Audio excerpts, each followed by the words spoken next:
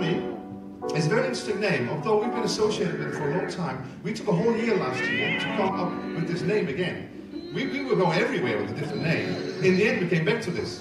First of all, we are made as relational people because the Trinity, Father, Son, Holy Spirit, are this wonderful, perfect, harmonious church. That's the perfect family. They are family. That's why we are family. And the thing is, though, harmony says that about this unity, this harmony within the Godhead, which so impressed me. I said, this is wonderful. As a relational community, we've got to live in unity and harmony. What a wonderful word. Harmony.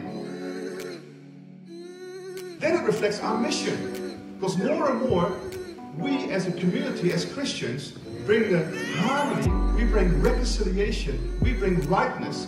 That is our mission. So we are harmony makers, reconcilers. I thought, what a wonderful thing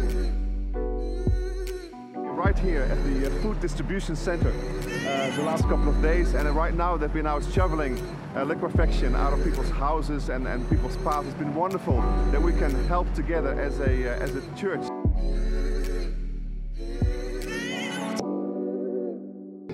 And then of course harmony is a musical term. Because we love, Kath and I, and many of you with me, we love music, we love worship, and so we said we want to have that part of it.